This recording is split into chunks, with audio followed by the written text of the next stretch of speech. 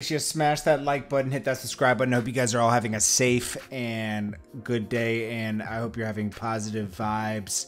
Um, you know, I know it's hard uh, when, you know, it's just like you also realize your own mortality when things like this happen. I mean, he was only 20 years old. He hadn't even really started. He just really got success a year ago. More people are reacting today, saying it's way too soon. Um, you know, no uh, Herbo said something. Rocko said, you know, was shocked that that he was only 20. He said I didn't really know him, but I was rooting for him, um, and he didn't deserve this. Uh, and then he talked about, uh, I, I hope all the you know suckers get removed from the earth. As human beings, we can live in peace and harmony amongst each other and enjoy the fruits of our labor without having to sleep with one eye open. Prayers and condolences to his family and loved ones. You got to be super careful out here, especially in hip hop. Um, I saw that Irv Gotti put up something about you know hip hop's the only genre where you got to become a target when you become successful. Is because it's it's uh, when you're talking about you know gangster rap, talking about bragging about what you got, you're talking about street rap. Yeah, that's the streets. That's that comes with it unfortunately. You know, like even when I was doing music videos, I was doing music videos in the streets, I was a target. Um, and you got to move accordingly. And nobody told him in Cali, I guess, that you got to move accordingly in Cali. Even if you got an Airbnb or whatever he had, or a rental crib, you don't let people know where it's at. He probably should have been staying in a hotel. You know, I'm not saying he did anything wrong. He was living like a normal human being you know, but uh, you can't, unfortunately. And I wish somebody had told him that, hey, you know, move carefully in LA. Because LA, any city, but like LA, for some reason, just a lot of doors get kicked in and stuff and stuff like that. Uh, 2 Chainz said that, uh, you know, be careful what you wish for out here. It's dangerous. Uh, to be success, success can be dangerous. He says uh, he had many incidences in uh, San Francisco, Maryland, New York, Oklahoma, standoff with the police in Oklahoma. His Cali spot has been broken into a lot.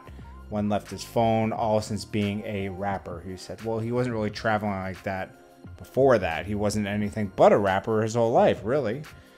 Uh, a trapper would be even worse.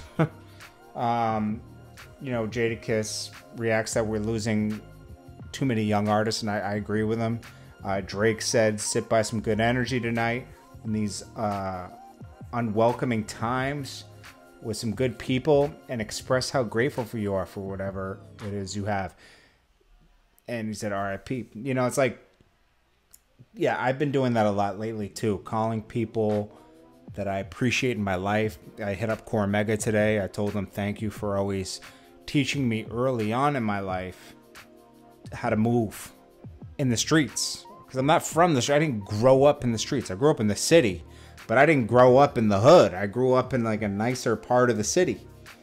So I didn't really have to worry so much about that stuff. I mean, you know, just being from New York, period, you're on guard a little bit, but it's diff- totally different in the hood.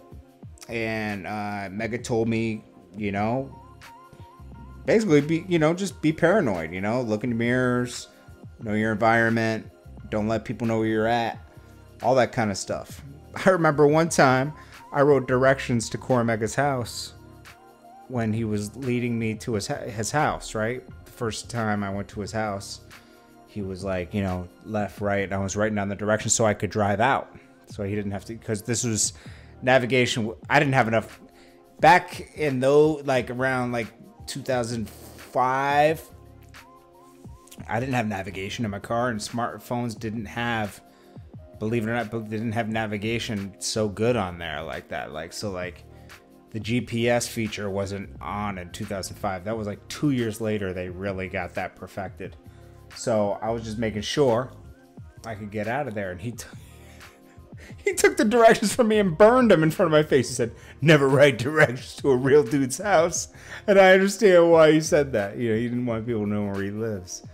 Uh, but you know, he really I wouldn't have been around if he didn't teach me how to move correctly. because when I was staying in LA, I moved hotels every two two days until I and then when I got an, an uh, a house with my manager and some other people for, for a year or two, nobody knew where that house was at all, and we always made sure we never followed home and all that stuff. Um, Fivio Foreign said, uh, damn, cuz it seemed like someone gets 100 years or jail from the streets. He says, I'm going to miss you forever. Gunna said, I was just supposed to, uh, I was just with you the other day. I hate it when people make it about themselves. When someone goes, uh, Amber Rose even said, you were supposed to come over today. Yeah. It's like, come on. Anyways, guys, I love you guys.